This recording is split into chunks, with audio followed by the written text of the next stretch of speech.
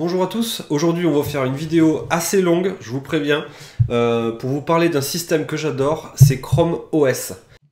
Donc on a eu pas mal d'articles euh, provenant du CES cette année qui parlent de Remix OS.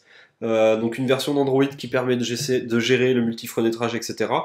et moi, je me suis rendu compte que finalement, la majorité des choses que Remix OS fait, bah, finalement Chrome OS le faisait aussi bien, voire mieux. Donc là, je vais vous faire une bonne vidéo de présentation de toutes les fonctionnalités de Chrome OS sur mon super Chromebook que j'adore. Voilà, donc euh, bah, suivez le guide, on va découvrir tout ça. Euh, je vais essayer d'être le plus explicite possible et n'hésitez pas à poser des questions dans les commentaires. C'est parti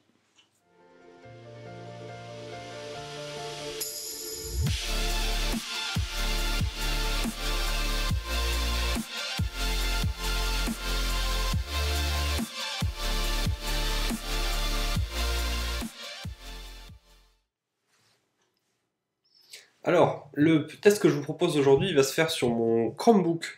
Donc c'est un Chromebook de la marque Asus, c'est le Chromebook Flip qui se trouve pas en France. Malheureusement, je l'ai dû l'importer des États-Unis.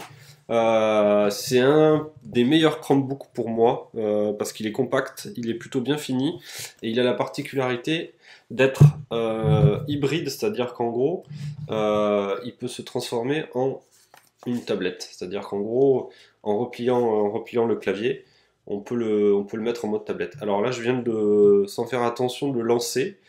Euh, donc vous avez pu percevoir la vitesse de lancement du, du, Chrome, du Chromebook. Il était fermé, il était éteint. Euh, et il est passé en mode allumé super rapidement. Donc là, je vais vous remontrer le temps d'allumage et le temps d'extinction de la machine. Parce que c'est le premier truc qu'on remarque sur ce genre de, ce genre de matériel, c'est la vitesse à laquelle le système est capable de démarrer.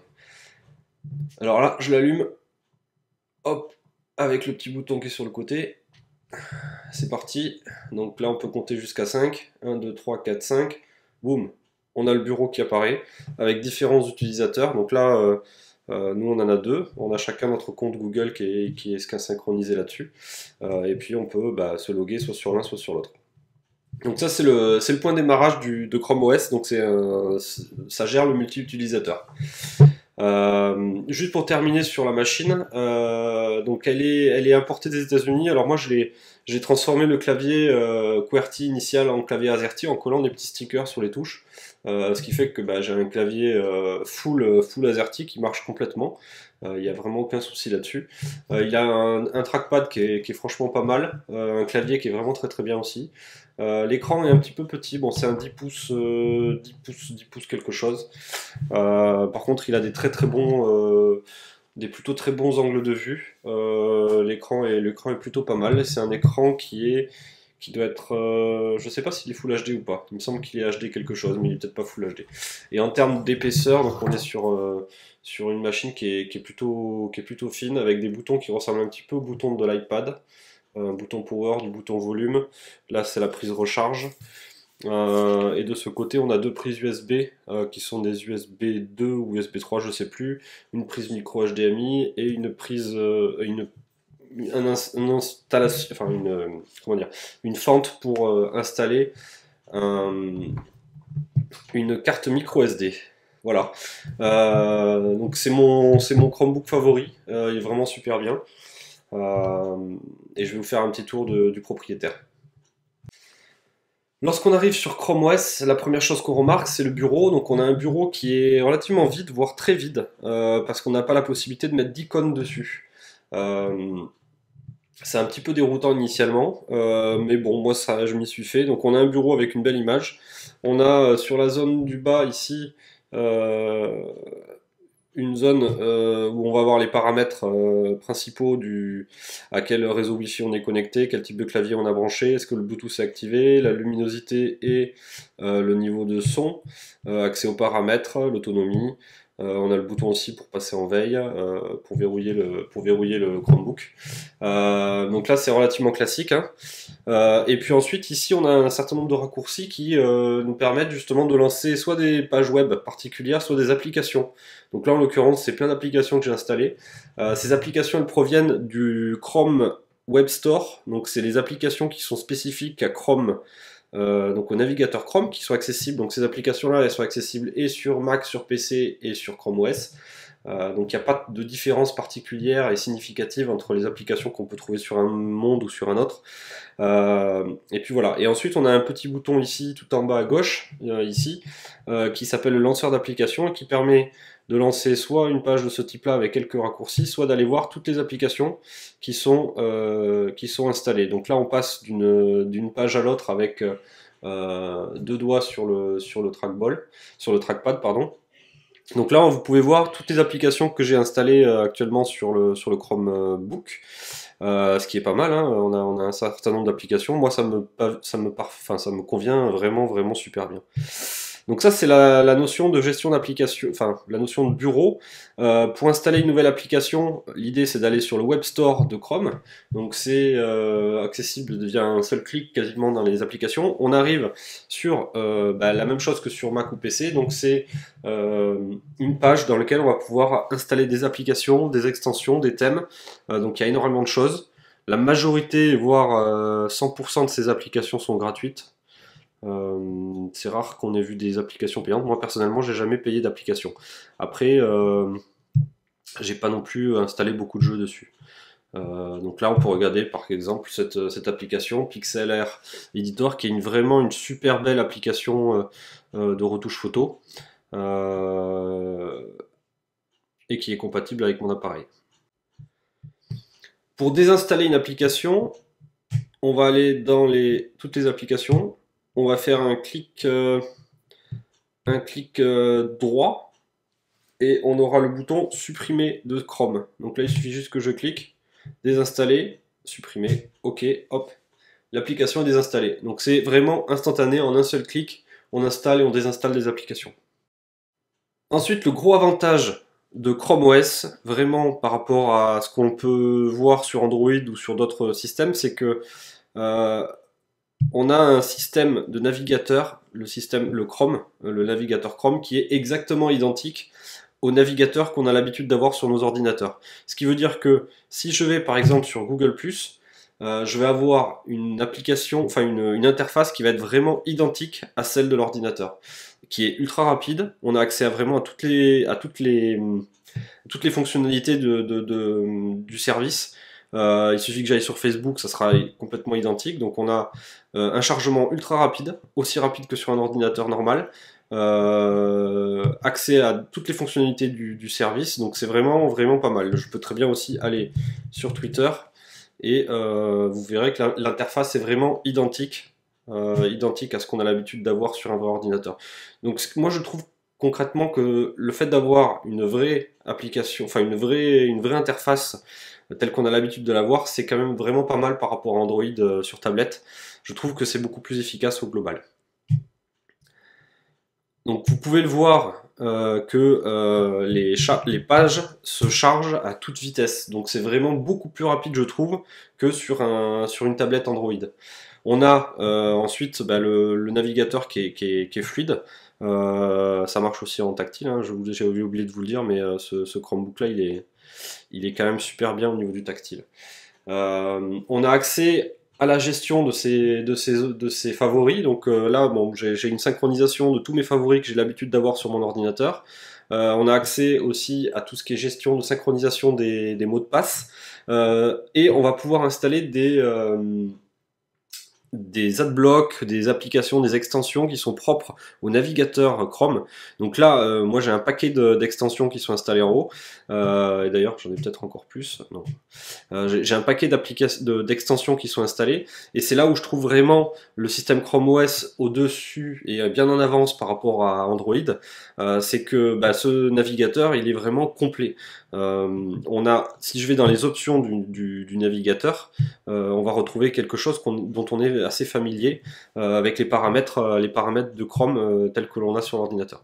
Et la gestion de ces, de ces extensions ici, c'est vraiment malin parce qu'on va pouvoir installer des petits raccourcis qui m'indiquent le nombre de mails que j'ai, mon agenda, j'ai une synchronisation avec Dashlane, je vais avoir mon adblock lorsque je veux l'installer, lorsque je veux l'utiliser, un outil pour faire des captures d'écran, j'ai mes paramètres, mes paramètres VPN aussi qui sont installés ici. Et puis j'ai même l'extension Pocket qui, a été rajoutée. Donc là, je peux directement enregistrer sous Pocket mes, mes articles que je veux lire. Donc ça, c'est vraiment pas mal. si maintenant je vous fais un petit... Euh, si je commence à cliquer sur les applications qui sont en dessous, donc certaines applications vont s'ouvrir directement dans le navigateur web, et d'autres applications comme Feedly euh, s'ouvrent dans une page euh, spécifique. Donc c'est vraiment la page application qui est, qui est, qui est lancée. Le navigateur continue de tourner en fond, donc là je peux rebasculer sur le, sur le navigateur. Je peux très bien aussi me dire que je redimensionne les fenêtres de ce type-là, donc avoir d'un côté le navigateur, de l'autre côté Feedly. Euh, je peux repasser en plein écran. J'ai une notion aussi de super plein écran avec ce bouton-là, qui me permet d'avoir un vraiment vraiment un vrai plein écran. Donc là, j'ai perdu la barre du haut et la barre du bas. Donc là, j'ai un, j'ai un, j'ai un plein écran complet. Euh, si je veux vraiment rester dans cette, dans cette application-là. Et après, j'ai un bouton qui sert ici de multi-fenêtre qui va me permettre de passer euh, d'une application à une autre. Donc on a en un clic euh, l'ensemble des applications ouvertes. Donc si j'en ouvre d'autres, là je vais ouvrir mon client Twitter, je vais ouvrir euh, Google Music, je vais ouvrir YouTube. Donc là j'en ai ouvert un paquet, hein. on voit toutes les applications ouvertes avec un tout petit trait blanc, un petit peu à la sauce Mac. On a un petit trait blanc sous l'application qui indique que cette application est lancée. je pourrais aussi ouvrir, ouvrir mon mail, bon je ne vais pas l'ouvrir mes mails. Euh, VLC, tiens, je vais ouvrir VLC. Hop. Donc là, j'ai ouvert un paquet d'applications. Euh, donc je peux passer en plein écran comme tout à l'heure. Et euh, j'ai accès au multi. alors là, VLC, c'était pas la bonne idée, j'aurais pas dû ouvrir VLC. parce qu'il va me demander maintenant d'ouvrir un fichier particulier. Donc, le plein écran et le multi, le multi application. Donc là, on, vous vous rappelez, j'avais ouvert mon application Twitter, Google Music, Feedly, euh, une page web et YouTube. Et je peux passer de l'un à l'autre euh, en un clic. Donc vous voyez, le multi-fenêtrage est vraiment euh, ultra efficace et voire peut-être même plus efficace que le multi-fenêtre d'Android. Là-dessus, il y a vraiment... je trouve que c'est vraiment pas mal. C'est vraiment, vraiment bien foutu.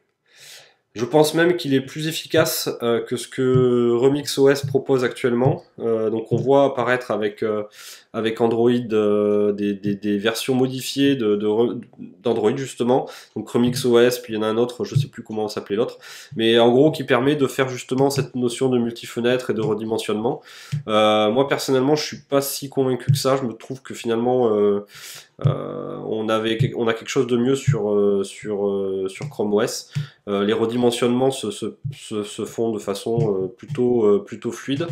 on est capable aussi, par exemple, de redimensionner de façon un petit peu spécifique. Par exemple, si je veux réduire celle-là, et j'ai la possibilité normalement d'avoir différentes tailles de redimensionnement. Vous voyez, on peut redimensionner sous forme de, de colonnes. Euh, là, redimensionnement se passe super rapidement et, euh, et de façon presque automatique.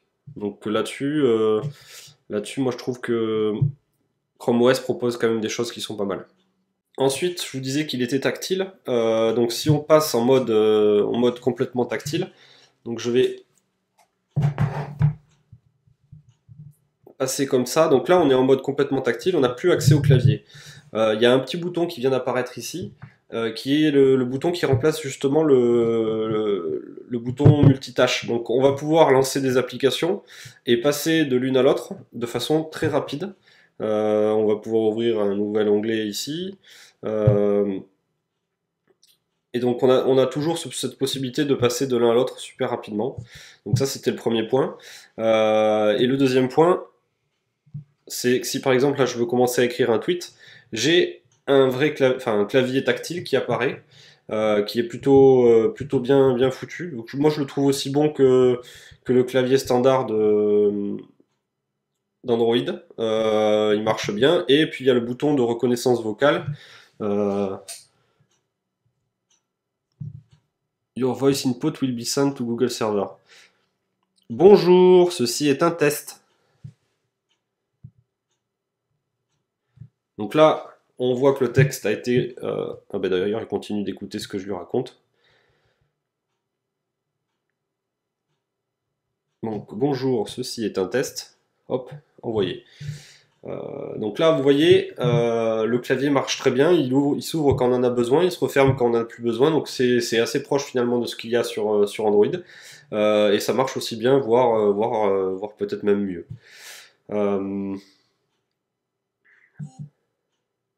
Donc là, il y a déjà des gens qui répondent à mon tweet, ceci est un test.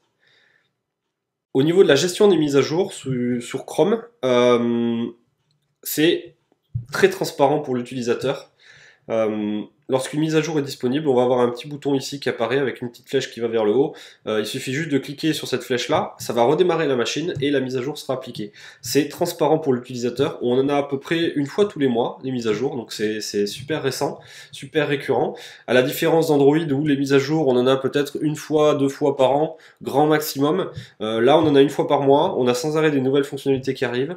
Euh, le système évolue relativement vite, donc on voit assez souvent des, nouvelles fonctionnalités qui Euh, là récemment, il y a eu le lecteur de, musique, lecteur de vidéo qui, avait été, euh, qui a été amélioré. Euh, la gestion aussi des images a été améliorée. On, peut rajouter maintenant des, on peut, rajouter des, des, espaces dans le cloud directement accessibles depuis le navigateur de fichiers qui est ici. donc il y a, quand même pas mal de choses qui s'améliorent très souvent euh, euh, et, de façon complètement transparente pour l'utilisateur. Donc, étant donné que ces machines, donc les Chrome OS, ne sont pas du tout customisées, les mises à jour, elles arrivent en même temps sur toutes les machines ou presque. On n'est pas euh, dépendant finalement de son fournisseur, de, son, de sa marque. Les mises à jour arrivent tout le temps par, de façon automatique sur l'ensemble des machines ou presque. Euh, et on n'est pas obligé d'attendre que Samsung, Asus, etc. ils libèrent les mises à jour. Donc là, là-dessus, c'est une gestion qui est vachement bien au niveau de la mise à jour. On a toujours une machine qui est à jour euh, et on n'a pas besoin de se poser des questions. Ça marche, ça plante jamais. Euh, donc là-dessus, là-dessus, c'est vraiment, c'est vraiment super intéressant. lorsqu'on achète un Chromebook neuf, on a accès à 200 gigas, il me semble, dans le cloud, dans Google Drive, donc 200 gigas disponibles pendant deux ans, il me semble. Euh, donc ça c'est une bonne euh, c'est une bonne chose euh, je trouve parce que bah, globalement on est assez limité en stockage sur les machines. Ça c'est une petite limitation c'est à dire que la machine ne va pas permettre à stocker 10 000 séries etc mais il va falloir plutôt les regarder en streaming via Netflix ou via Plex. Je vais vous montrer d'ailleurs Plex qui me permet de regarder mes séries. Ça va être plutôt il va falloir plutôt passer par ce genre de solution. Donc là je vais je vais juste passer en plein écran. Donc là, c'est, je me suis connecté sur mon serveur Plex qui est dans mon salon. Euh, j'ai accès à, donc à différentes, euh, différentes séries, différentes choses, euh, des films aussi qui sont stockés sur mon, sur mon NAS. et ça marche de façon super confortable. Donc là, je peux vous lancer. Qu'est-ce que je peux vous lancer? Iron Man 3.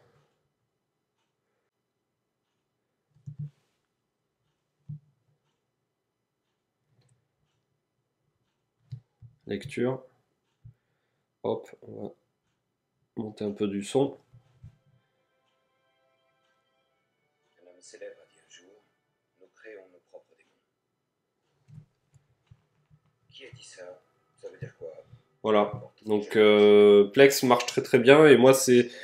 Euh, donc là on peut enlever les sous-titres, hop, donc Plex, euh, Plex pour regarder des séries c'est plutôt bien, pour regarder des films c'est plutôt bien. Par contre il faut être connecté, soit avec du Wi-Fi, soit avec la 3G et la 4G, euh, pour qu'on puisse récupérer les vidéos euh, directement chez soi.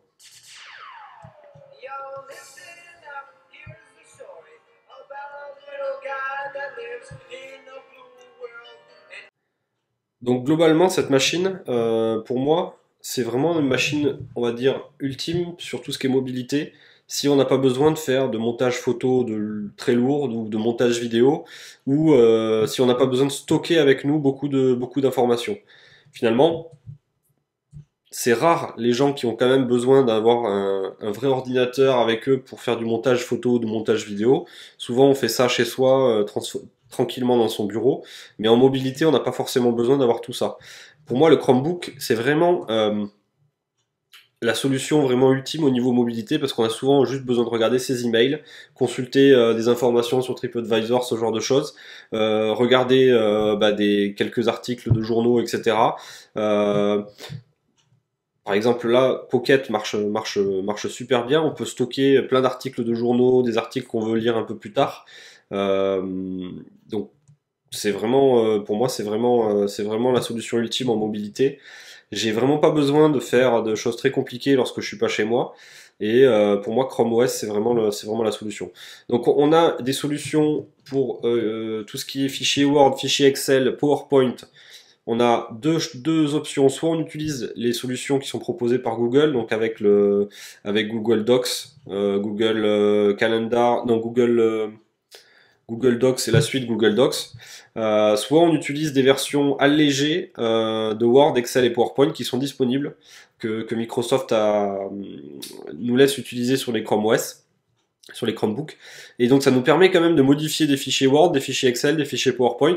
On n'a pas toutes les fonctionnalités, mais on a un système qui est compatible. C'est-à-dire qu'on va pouvoir les ouvrir, on va pouvoir les modifier, les enregistrer, euh, sauvegarder ça en PDF, sauvegarder ça en fichier Word. Donc c'est ultra complet pour moi. Euh, et il me manque quasiment rien finalement euh, lorsque je suis en mobilité avec ce, avec ce genre de, machine. Donc c'est vraiment pour moi plus puissant finalement qu'une tablette Android. parce que finalement on a un vrai navigateur web. On a un vrai Chrome avec les extensions, avec les applications.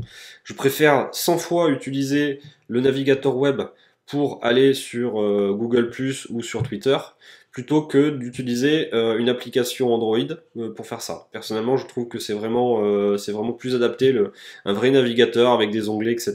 Il est plus rapide, il y a toutes les fonctionnalités, et on n'a pas forcément besoin de, de l'application Android à tout prix. Donc voilà, moi je vous ai fait un petit panorama des choses que j'aime bien sur les Chromebooks, sur Chrome OS. Pour moi, c'est une solution qui est plus puissante que Android, clairement, dans la mobilité. Euh, j'aime bien Android sur mes téléphones, mais je préfère Chrome OS sur des machines de ce type-là, donc des machines de type tablette ou de type euh, PC, enfin de type euh, laptop. pour moi, c'est plus puissant, on fait plus de choses, on le fait mieux et on le fait plus rapidement. donc clairement, pour moi, c'est les solutions du moment, c'est les solutions à base de Chromebook. Sachant qu'en plus, un Chromebook de ce type, ça vaut 250-300 euros. et on n'a pas beaucoup de tablettes Android aussi grandes euh, avec un clavier aussi confortable euh, pour ce prix-là. Donc clairement, euh, la notion de prix avec les Chrome OS et Chromebook, elle est quand même à surveiller. Le seul bémol que j'y vois aujourd'hui, c'est la gestion des imprimantes. Aujourd'hui, il n'est pas possible d'imprimer euh, ou de scanner, on va dire, hein, depuis, euh, depuis son Chromebook. Ce qui veut dire que pour moi, cette machine n'est qu'une machine complémentaire à la machine principale que je peux avoir euh, dans mon bureau, qui elle sera connectée à mon imprimante, mon scanner, etc. ça, ce n'est qu'une machine complémentaire plutôt destinée à la mobilité, euh, qui peut être installé dans un, dans un canapé, enfin dans un salon, ou qui peut être emmené en voyage pour décharger ses photos, pour faire du tri sur son appareil photo, pour euh, aller sur internet, etc.